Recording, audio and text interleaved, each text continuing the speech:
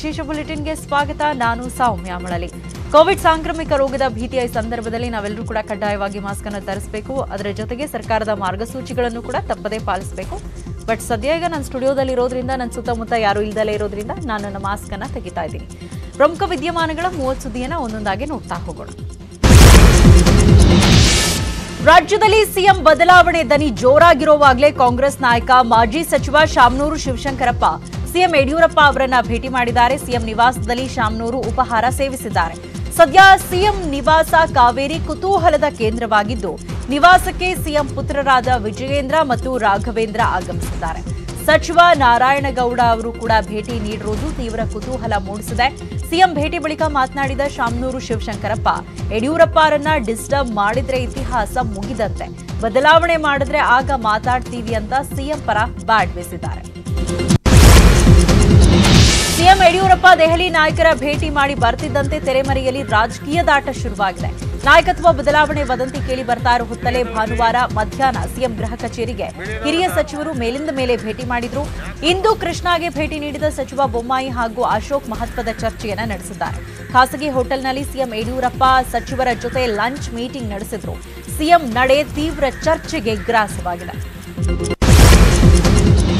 CM ಬದಲಾವಣೆ ಗುಸುಗುಸು ಹೊತ್ತಲೇ ಸಚಿವ ಮುರುಗೇಶ್ ನಿರಾಣಿ ವಾರಣಾಸಿ ಪ್ರವಾಸ ಮುಗಿಸಿ ವಾಪಸ್ಸಾಗಿದ್ದಾರೆ ಕಾಶಿ ವಿಶ್ವನಾಥ ಹಾಗೂ ಕಾಲಭೈರವೇಶ್ವರ ದೇವರ ದರ್ಶನ ಪಡೆದಿರೋ ನಿರಾಣಿ ವಿಶೇಷ ಪೂಜೆಯನ್ನ ಸಲ್ಲಿಸಿದ್ದಾರೆ. ತಮ್ಮ ಬೇಡಿಕೆ ಈಡೇರಿಸುವಂತೆ ದೇವರಲ್ಲಿ ಪ್ರಾರ್ಥನೆ ಮಾಡಿದ್ದಾರೆ. ಈಗಾಗಲೇ ಸಿಎಂ ರೇಸ್ನಲ್ಲಿರುವ ಸಚಿವ ಮುರುಗೇಶ್ ನಿರಾಣಿ ತನಗೆ ಸಿಎಂ ಸ್ಥಾನ ಸಿಗಲಿ ಅಂತ ದೇವರಲ್ಲಿ ಹರಕೆ ಹೊತ್ಕೊಂಡು ಬಂದ್ರಾ ಅನ್ನೋ ಮಾತುಗಳು ಕೇಳಿ ಬರ್ತಿವೆ ಮತ್ತೊಂದು ಕಡೆ ಸಿಎಂ ಆಪ್ತ ಶಾಸಕ ರೇಣುಕಾಚಾರ್ಯ ನಡೆ ಕೂಡ ಕುತೂಹಲ ಮೂಡಿಸಿದೆ. ಸಿಎಂ ಬದಲಾವಣೆ ಚರ್ಚೆ ಬೆನ್ನಲ್ಲೇ ಚಿತ್ರದುರ್ಗದ ಹಲವು ಮಠಗಳಿಗೆ ರೇಣುಕಾಚಾರ್ಯ ಭೇಟಿ ನೀಡಿದ್ದಾರೆ. ಬಸವ ಮೂರ್ತಿ ಮಾದಾರ ಚೆನ್ನಯ್ಯ ಶ್ರೀಗಳಿಗೆ ಹುಟ್ಟುಹಬ್ಬಕ್ಕೆ ಶುಭ ಕೋರಿದ ರೇಣುಕಾಚಾರ್ಯ ಕೊಠಡಿಯಲ್ಲಿ ಶ್ರೀಗಳ ಜೊತೆ ಗೌಪ್ಯವಾಗಿ ಮಾತುಕತೆ ನಡೆಸಿದ್ದಾರೆ. ಚೆನ್ನಯ್ಯ ಮಠದ ಬಳಿಕ ಬೋವಿ ಗುರುಪೀಠ ಸೇರಿದಂತೆ ಸುಮಾರು ಎಂಟಕ್ಕೂ ಹೆಚ್ಚು ಸ್ವಾಮೀಜಿಗಳನ್ನ ಭೇಟಿ ಮಾಡಿದ್ದಾರೆ. ನಾಯಕತ್ವ ಬದಲಾವಣೆ ಕೂಗು ಎದ್ದಿರೋ ಹೊತ್ತಲೇ ಸಚಿವ ಉಮೇಶ್ ಕತ್ತಿ ಸಿಎಂ ಕುರ್ಚಿ ಆಸೆ ಬಿಚ್ಚಿಟ್ಟಿದ್ದಾರೆ. ಬೆಳಗಾವಿಯಲ್ಲಿ ಮಾತನಾಡಿದ ಉಮೇಶ್ ಕತ್ತಿ, ನಾನು ಹುಕ್ಕೇರಿ ಕ್ಷೇತ್ರದಿಂದ ಎಂಟು ಬಾರಿ ಶಾಸಕನಾಗಿ ಆಯ್ಕೆಯಾಗಿದ್ದೇನೆ. ಈಗಾಗಲೇ ನಾಲ್ಕು ಬಾರಿ ಸಚಿವನಾಗಿಯೂ ಕೆಲಸ ಮಾಡಿದ್ದೆ. ಹೀಗಾಗಿ ರಾಜ್ಯದ ಮುಖ್ಯಮಂತ್ರಿ ಆಗುವ ಎಲ್ಲಾ ಅರ್ಹತೆ ನನಗಿದೆ. ನನ್ನ ಮೇಲೆ ಯಾವುದೇ ಕಪ್ಪು ಚುಕ್ಕೆ ಇಲ್ಲ, ನನ್ನದು ಕಳಂಕರಹಿತವಾದ ವ್ಯಕ್ತಿತ್ವ. ರಾಜ್ಯದ ಜನತೆ ಆಶೀರ್ವಾದ ಕೊಟ್ರೆ ಪಕ್ಷದ ಹೈಕಮಾಂಡ್ ಮನಸ್ಸು ಮಾಡಿದ್ರೆ ನಾನು ರಾಜ್ಯದ ಮುಖ್ಯಮಂತ್ರಿ ಆಗಿ ಕೆಲಸ ಮಾಡ್ತೀನಿ ಎಂದಿದ್ದಾರೆ. ಬದಲಾವಣೆಗಾಗಿ ಶಾಸಕ ಬಸನಗೌಡ ಪಾಟೀಲ್ ಯತ್ನಾಳ್ ಹರಕೆ ಹೊತ್ತಿದ್ದಾರಾ ಅನ್ನೋ ಪ್ರಶ್ನೆ ಎದ್ದಿದೆ. ವಿಜಯಪುರದಲ್ಲಿ ಮಾತನಾಡಿದ ಯತ್ನಾಳ್, ಇಷ್ಟಾರ್ಥ ಸಿದ್ಧಿಗಾಗಿ ಹರಕೆ ಹೊತ್ತಿದ್ದೇನೆ. ಜುಲೈ ಮೂವತ್ತರವರೆಗೆ ಕಾದ್ ನೋಡಿ ಗೊತ್ತಾಗತ್ತೆ ಅಂತ ಮಾರ್ಮಿಕವಾಗಿ ಹೇಳಿದ್ದಾರೆ. ಯತ್ನಾಳ್ರ ಈ ಹೇಳಿಕೆ ಹಲವು ಅನುಮಾನಗಳನ್ನ ಹುಟ್ಟುಹಾಕಿದೆ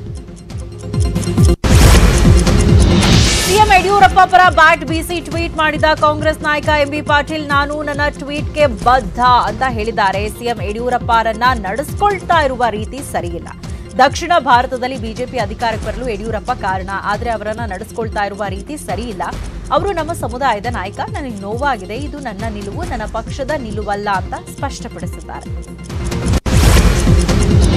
ಸಿಎಂ ದೆಹಲಿಯಲ್ಲಿ ಹೈಕಮಾಂಡ್ ನಾಯಕರನ್ನ ಭೇಟಿ ಮಾಡಿ ವಾಪಸ್ಸಾದ ಬೆನ್ನಲ್ಲೇ ಗವರ್ನರ್ ಥಾವರ್ ಚಂದ್ ಗೆಹ್ಲೋಟ್ ದೆಹಲಿಯಲ್ಲಿ ಹೈಕಮಾಂಡ್ ನಾಯಕರನ್ನ ಭೇಟಿ ಮಾಡಿದ್ದಾರೆ.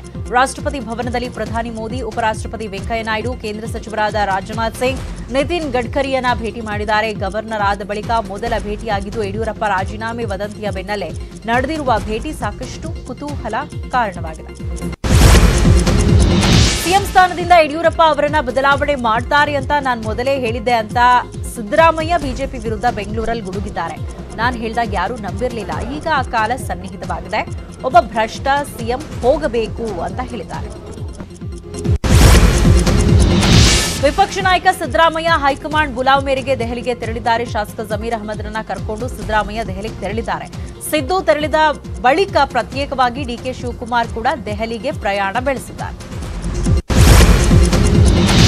ಬಿಜೆಪಿ ರಾಜ್ಯಾಧ್ಯಕ್ಷ ನಳಿನ್ ಕುಮಾರ್ ಕಟೀಲ್ ಅವರದ್ದು ಎನ್ನಲಾದ ಆಡಿಯೋವೊಂದು ರಾಜ್ಯ ರಾಜಕೀಯದಲ್ಲಿ ಭಾರಿ ಸಂಚಲನ ಮೂಡಿಸಿದೆ.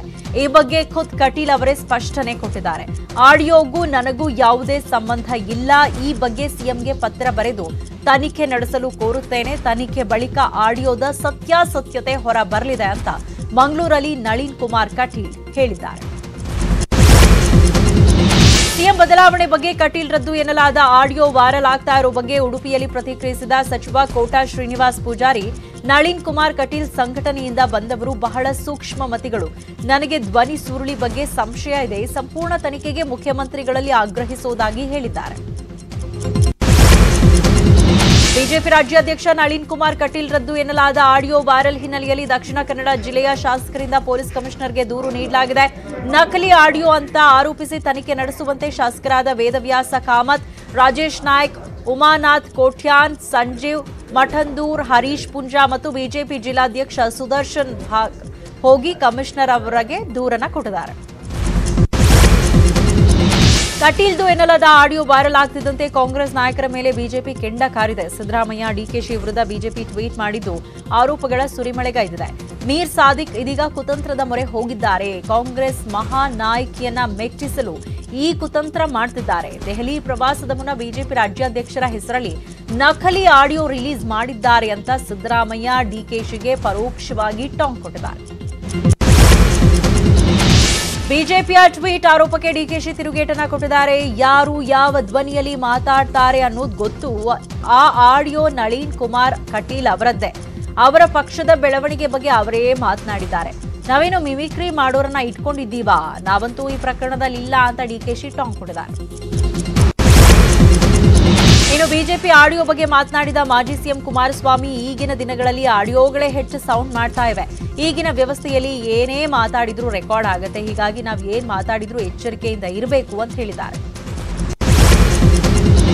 ಕಾವೇರಿ ವೈಗೈ ಗುಂಡಾರ್ ಲಿಂಕ್ ಯೋಜನೆಗೆ ಸಂಬಂಧಪಟ್ಟಂತೆ ತಮಿಳುನಾಡು ವಿರುದ್ಧ ಕರ್ನಾಟಕ ದೂರನ್ನು ಸಲ್ಲಿಸಿದೆ. ಸುಪ್ರೀಂ ಕೋರ್ಟ್ನಲ್ಲಿ ದೂರು ಸಲ್ಲಿಸಿದ ಕರ್ನಾಟಕ ಸುಪ್ರೀಂ ಕೋರ್ಟ್ನ ತೀರ್ಪಿನ ಪ್ರಕಾರ ತಮಿಳುನಾಡಿಗೆ ಬಿಳಿಗುಂಡ್ಲು ಮೂಲಕ ಕರ್ನಾಟಕ ನೂರ ಎಪ್ಪತ್ತೇಳು ಪಾಯಿಂಟ್ ಎರಡು ಐದು ಟಿಎಂಸಿ ನೀರನ್ನ ಕೊಡಬೇಕು. ಆದರೆ ತಮಿಳುನಾಡು ಹೆಚ್ಚುವರಿಯಾಗಿ ನಲವತ್ತೈದು ಟಿಎಂಸಿ ನೀರು ಸಂಗ್ರಹಿಸಲು ಯತ್ನಿಸ್ತಾ ಇದೆ. ಅದಕ್ಕಾಗಿ ಕಾವೇರಿ ವೈಗೈ ಗುಂಡಾರ್ ಲಿಂಕ್ ಯೋಜನೆ ಮಾಡ್ತಾ ಇದೆ. ಯೋಜನೆಗೆ ಕೂಡಲೇ ತಡೆಯಾಜ್ಞೆ ನೀಡುವಂತೆ ಮನವಿ ಮಾಡಿದೆ. ಇಂದ್ರ ವರ್ಸಸ್ ಇಂದ್ರಜಿತ್ ನಡುವಿನ ಗುದ್ದಾಟ ಪೊಲೀಸ್ ಠಾಣೆ ಮೆಟ್ಟಿಲೇರಿದೆ. ದರ್ಶನ್ ಬೆಂಬಲಿಗರು ಬೆದರಿಕೆ ಹಾಕ್ತಿದ್ದಾರೆ. ಅಶ್ಲೀಲ ಸಂದೇಶಗಳನ್ನು ಕಳುಹಿಸುತ್ತಿದ್ದಾರೆ. ಅಂತ ನಿರ್ದೇಶಕ ಇಂದ್ರಜಿತ್ ಬೆಂಗಳೂರಿನ ಕೋರ್ಮಂಗ್ಲಾ ಠಾಣೆಯಲ್ಲಿ ದೂರನ್ನ ಕೊಟ್ಟಿದ್ದಾರೆ. ಕಳೆದ ಇಪ್ಪತ್ನಾಲ್ಕು ಗಂಟೆಯಿಂದ ಮೂರು ಸೆಕೆಂಡ್ಗೊಂದು ಅನಾಮಧೇಯ ಕರೆ ಬರ್ತಾ ಇದೆ. ರಕ್ಷಣೆ ಕೊಡಿ ಅಂತ ದೂರಿನಲ್ಲಿ ಇಂದ್ರಜಿತ್ ಉಲ್ಲೇಖಿಸಿದ್ದಾರೆ. ಇನ್ನು ಇಂದ್ರಜಿತ್ ವಿರುದ್ಧ ಕೊಪ್ಪಳದಲ್ಲಿ ದರ್ಶನ್ ಫ್ಯಾನ್ಸ್ ಫುಲ್ ಗರಂ ಆಗಿದ್ದಾರೆ. ನಮ್ಮ ಬಾಸ್ ಬಗ್ಗೆ ಮಾತಾಡಿದ್ರೆ ನಾವು ಸುಮ್ಮನಿರಲ್ಲ ನೀವೇನ್ ಮಾಡ್ತೀರೋ ನೋಡೋಣ. ನೀವು ಇದೇ ರೀತಿ ಮಾತನಾಡ್ತಾ ಇದ್ರೆ ನಾವು ನಿಮ್ಮ ವಿರುದ್ಧ ದೂರ್ ಕೊಡ್ತೀವಿ ಅಂತ ದರ್ಶನ್ ಅಭಿಮಾನಿಗಳು ವಾರ್ನಿಂಗ್ ಮಾಡಿದ್ದಾರೆ. ರಾಜ್ಯದಲ್ಲಿಂದು ಒಂದು ಸಾವಿರದ ಇನ್ನೂರ ತೊಂಬತ್ತೊಂದು ಕೊರೋನಾ ಕೇಸ್ ದಾಖಲಾಗಿದೆ. ಒಂದೇ ದಿನ ನಲವತ್ತು ಜನ ಕೊರೋನಾದಿಂದ ಸಾವನ್ನಪ್ಪಿದ್ದಾರೆ. ಇಪ್ಪತ್ನಾಲ್ಕು ಗಂಟೆಯಲ್ಲಿ ಮೂರು ಸಾವಿರದ ಹದಿನೈದು ಮಂದಿ ಗುಣಮುಖರಾಗಿ ಡಿಸ್ಚಾರ್ಜ್ ಆಗಿದ್ದಾರೆ. ಬೆಂಗಳೂರಿನಲ್ಲಿ ಇನ್ನೂರ ಹದಿನಾ, ಅರವತ್ತಾರು ಕೇಸ್ ಪತ್ತೆಯಾಗಿದ್ದು, ಆರು ಮಂದಿ ಸಾವನ್ನಪ್ಪಿದ್ದಾರೆ. ಸದ್ಯ ರಾಜ್ಯದಲ್ಲಿ positivity rate zero point four nine ಇದ್ದು, ಸಾವಿನ ಪ್ರಮಾಣ ತ್ರೀ ಪಾಯಿಂಟ್ ನೈನ್ ಇದೆ. ಇನ್ನುಳಿದ ಹತ್ತು ಪ್ರಮುಖ ಸುದ್ದಿ ನೋಡೋಣ. ಚಿಕ್ಕ ಬ್ರೇಕ್ ಆದ್ಮೇಲೆ.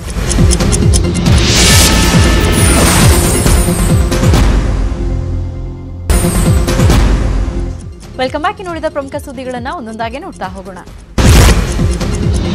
ಇತ್ತೀಚೆಗೆ ಒಕ್ಕಲಿಗ ಅಭಿವೃದ್ಧಿ ನಿಗಮ ಸ್ಥಾಪನೆಗೆ ಆದೇಶಿಸಿದ ಸರ್ಕಾರ ಇದೀಗ ನಿಗಮಕ್ಕೆ ಸದಸ್ಯರನ್ನ ನೇಮಕ ಮಾಡಿದೆ. ನಿಗಮದ ಅಧ್ಯಕ್ಷರಾಗಿ ಬೆಂಗಳೂರು ದಕ್ಷಿಣ ಶಾಸಕ ಎಂ ಕೃಷ್ಣಪ್ಪ ನೇಮಕವಾಗಿದ್ದಾರೆ. ಎಸ್ಎಸ್ಎಲ್ಸಿ ಮೊದಲ ದಿನದ ಪರೀಕ್ಷೆ ಪೂರ್ಣಗೊಂಡಿದ್ದು ಶೇಕಡಾ ತೊಂಬತ್ತೊಂಬತ್ತು ಪಾಯಿಂಟ್ ಆರು ನಾಲ್ಕರಷ್ಟು ಹಾಜರಿ ಇತ್ತೆಂದು ಶಿಕ್ಷಣ ಸಚಿವ ಸುರೇಶ್ ಕುಮಾರ್ ಹೇಳಿದ್ದಾರೆ. ಕೋವಿಡ್ ಸೋಂಕಿತ ಮಕ್ಕಳು ಹತ್ತಿರದ ಕೋವಿಡ್ ಸೆಂಟರ್ನಲ್ಲಿ ಐವತ್ತೆಂಟು ವಿದ್ಯಾರ್ಥಿಗಳು ಪರೀಕ್ಷೆ ಬರೆದಿದ್ದಾರೆ. ಅನಾರೋಗ್ಯ ಕಾರಣದಿಂದ ವಿಶೇಷ ಕೊಠಡಿಯಲ್ಲಿ ನೂರ ವಿದ್ಯಾರ್ಥಿಗಳು ಪರೀಕ್ಷೆ ಬರೆದಿದ್ದಾರೆ ಅಂತ ಮಾಹಿತಿಯನ್ನು ಕೊಟ್ಟಿದ್ದಾರೆ. ನಾಳೆ ಸಂಜೆ ನಾಲ್ಕು ಮೂವತ್ತಕ್ಕೆ ದ್ವಿತೀಯ ಪಿಯುಸಿ ಫಲಿತಾಂಶ ಪ್ರಕಟವಾಗಲಿದೆ. ಈ ಬಗ್ಗೆ ಮಾಹಿತಿ ನೀಡಿದ ಪಿಯುಸಿ ನಿರ್ದೇಶಕಿ ಸ್ನೇಹಲ್. ಎನ್ಐಸಿ ವೆಬ್ಸೈಟ್ ಮೂಲಕ ಫಲಿತಾಂಶ ಬಿಡುಗಡೆ ಮಾಡಲಾಗುತ್ತೆ. ಒಂದ್ ವೇಳೆ ನಾಳೆಯ ಫಲಿತಾಂಶದ ವಿದ್ಯಾರ್ಥಿಗಳಿಗೆ ಫಲಿತಾಂಶ ಸಮ್ಮತಿ ಇಲ್ಲದಿದ್ರೆ ಆಗಸ್ಟ್ನಲ್ಲಿ ಪರೀಕ್ಷೆ ಬರೆಯಲು ಅವಕಾಶ ಕಲ್ಪಿಸಿಕೊಡಲಾಗುತ್ತೆ ಅಂತ ಹೇಳಿದ್ದಾರೆ. ಬಕ್ರೀದ್ ಹಬ್ಬಕ್ಕೆ ಗೋವುಗಳ ಬಲಿ ಬೇಡ ಅಂತ ಪಶು ಸಂಗೋಪನೆ ಸಚಿವ ಪ್ರಭು ಚೌಹಾಣ್ ಸೂಚಿಸಿದ್ದಾರೆ. ಒಂದ್ ವೇಳೆ ಗೋವುಗಳ ಬಲಿಯಾದ್ರೆ ಸಂಬಂಧಿಸಿದ ಅಧಿಕಾರಿಗಳೇ ಹೊಣೆಗಾರರು ಅಂತ ಖಡಕ್ ಎಚ್ಚರಿ, ಎಚ್ಚರಿಕೆಯನ್ನ ಕೊಟ್ಟಿದ್ದಾರೆ. ರಾಜಸ್ಥಾನದಲ್ಲಿ ಧಾರಾಕಾರ ಮಳೆಯಾಗಿದೆ. ಸವಿ, ಮಾಧೋಪುರ್ ಎಂಬಲ್ಲಿ ಭಾರೀ ಮಳೆಯಿಂದ ಚರಂಡಿಗಳು, ರಸ್ತೆಗಳು, ತಗ್ಗು ಪ್ರದೇಶಗಳಲ್ಲಿ ನೀರು ತುಂಬಿ ಹರಿತಾ ಇದೆ. ವ್ಯಕ್ತಿಯೋರ್ವ ರಸ್ತೆ ದಾಟುವಾಗ ನಿಲ್ಲಿ, ನೀರಿನಲ್ಲಿ ಸಿಲುಕಿದ್ದು ಆತನನ್ನ ರಕ್ಷಣೆ ಮಾಡಲು ಹೋಗಿದ್ದಾನೆ. ನೀರಿನ ರಭಸ ಜಾಸ್ತಿಯಾಗಿ ಇಬ್ಬರು ಮಳೆ ನೀರಿನಲ್ಲಿ ಕೊಚ್ಕೊಂಡು ಹೋಗಿದ್ದಾರೆ.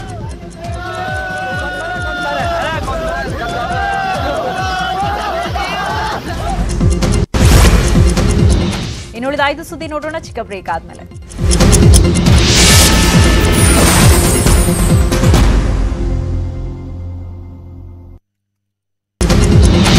ಪಂಜಾಬ್ ಕಾಂಗ್ರೆಸ್ಗೆ ನವಜೋತ್ ಸಿಂಗ್ ಸಿಧುನ ರಾಜ್ಯಾಧ್ಯಕ್ಷರನ್ನಾಗಿ ಮಾಡಿದ ಬೆನ್ನಲ್ಲೇ ಪಂಜಾಬ್ನಲ್ಲಿ ಹಲವು ಮಹತ್ವದ ಬೆಳವಣಿಗೆಗಳಾಗ್ತಾ ಇದೆ. ಸಿಎಂ ನಿವಾಸದಲ್ಲಿ ಹನ್ನೊಂದಕ್ಕೂ ಹೆಚ್ಚು ಶಾಸಕರು ಸಭೆ ಮಾಡಿದ್ದಾರೆ. ಸಿಎಂ ನೇತೃತ್ವದ ಸಭೆಯಲ್ಲಿ ಪ್ರಮುಖ ಸಚಿವರು ಭಾಗಿಯಾಗಿದ್ದು, ಕ್ಯಾಪ್ಟನ್ ತಮ್ಮ ಶಕ್ತಿ ಪ್ರದರ್ಶನಕ್ಕೆ ಮುಂದಾಗಿದ್ದಾರಾ ಅನ್ನೋ ಕುತೂಹಲ ಇದೆ. ಯುಕೆಗೆ ಮತ್ತೊಂದು ವೈರಸ್ ಕಾಟ ಶುರುವಾಗಿದೆ. ಕೊರೋನಾ ಮಂಕಿ ಬಿ ಬಳಿಕ ನೋರೋ ವೈರಸ್ ಯುಕೆಯಲ್ಲಿ ಪತ್ತೆಯಾಗಿದೆ. ವೋಮಿಟಿಂಗ್ ಬಗ್ ಅಂತಲೂ ಕರೆಯಲ್ಪಡುವ ಈ ವೈರಸ್ ಇದೀಗ ಇಂಗ್ಲೆಂಡ್ ಅನ್ನ ಕಾಡೋದಕ್ಕೆ ಶುರು ಮಾಡಿದೆ. ಹೊಟ್ಟೆ ನೋವು, ವಾಂತಿ, ತಲೆನೋವು, ಮೈಕೈ ನೋವುಗಳಾಗಿದ್ದು ಶುಚಿ ಇಲ್ಲದ ಆಹಾರ ನೀರಿನಿಂದ ಹರಡುತ್ತೆ. ಟೆಕ್ಕಿಗಳಾಗಿದ್ದವರು ಇದೀಗ ಡ್ರಗ್ಸ್ ಪೆಡ್ಲರ್ಸ್ ಆಗಿದ್ದಾರೆಂಬ ಆಘಾತಕಾರಿ ಅಂಶ ಬೆಳಕಿಗೆ ಬಂದಿದೆ. ದುಬೈನಲ್ಲಿ ಇಂಜಿನಿಯರ್ ಆಗಿದ್ದ ತಾರಿ ಹಸೀನ್ ಕೇರಳದಲ್ಲಿ ಇಂಜಿನಿಯರ್ ಆಗಿದ್ದ ಇರ್ಫಾನ್ ಆರು ತಿಂಗಳ ಹಿಂದೆ ಕೆಲಸ ಕಳ್ಕೊಂಡು ಡ್ರಗ್ ಪೆಡ್ಲಿಂಗ್ ಕೆಲಸ ಮಾಡ್ತಿದ್ದಾರೆ. ಇಬ್ರು ಸಿಕ್ಕಿಬಿದ್ದಿದ್ದು ಬೆಂಗಳೂರು ಪೊಲೀಸರು ವಿಚಾರಣೆ ಮಾಡ್ತಿದ್ದಾರೆ. ಮೂಲಭೂತ ಸೌಕರ್ಯ ಇಲ್ಲದೆ ಮೈಲಾರ ಮಲ್ಲಣ್ಣ ದೇವಾಲಯದ ಭಕ್ತರು ಪರದಾಡ್ತಿದ್ದಾರೆ. ಬೀದರ್ ಜಿಲ್ಲೆ ಭಾಲ್ಕಿ ತಾಲೂಕಿನ ಮೈಲಾರ ಮಲ್ಲಣ್ಣ ದೇಗುಲದಲ್ಲಿ ವಸತಿ ಸ್ನಾನದ ಗೃಹ ಕುಡಿಯುವ ನೀರಿಗೂ ಸಮಸ್ಯೆ ಆಗಿದೆ. ಮುಜರಾಯಿ ಇಲಾಖೆ ಸುಪರ್ದಿಯಲ್ಲಿ ಇದ್ರೂ ಅವ್ಯವಸ್ಥೆಯ ಆಗರವಾಗಿದೆ ಯಾದಗಿರಿ ನಗರಸಭೆ ಕಚೇರಿ ನರಕ ಸಭೆಯಾಗಿದೆ. ಜೀವ ಭಯದಲ್ಲೇ ಸಿಬ್ಬಂದಿ ಕೆಲಸ ಮಾಡ್ತಿದ್ದಾರೆ. ಕಿತ್ತು ಹೋದ ಕಟ್ಟಡದಲ್ಲಿಯೇ ನಗರಸಭೆ ಕೆಲಸ ನಡೀತಾ ಇದೆ. ಐವತ್ತು ವರ್ಷದ ಹಳೆಯ ಕಚೇರಿಗೆ ದುರಸ್ತಿ ಭಾಗ್ಯ ಇನ್ನೂ ಸಿಕ್ಕಿಲ್ಲ.